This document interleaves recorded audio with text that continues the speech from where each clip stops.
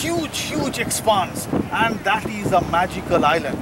I'm just reminded about Robert Louis Stevenson's uh, The Wonderful Treasure Island as I just got down at Pattaya and then took a boat ride and came through this beautiful, beautiful, wonderful, fascinating, my words fail to explain how beautiful is this and came through this